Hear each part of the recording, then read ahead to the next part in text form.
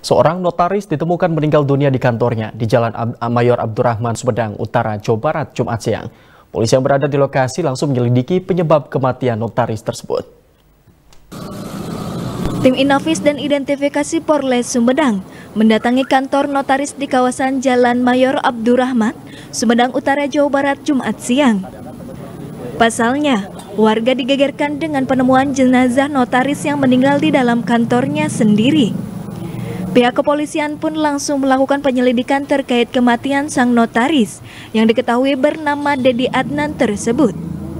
Tim Inafis bahkan mendatangkan dokter forensik guna memeriksa penyebab pasti kematian jenazah.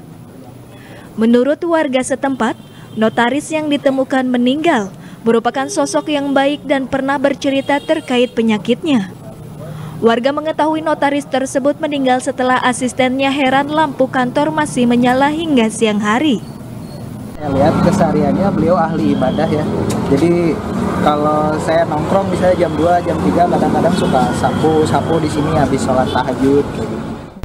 Sementara itu pihak kepolisian pun belum bisa memberikan pernyataan terkait kematian notaris tersebut.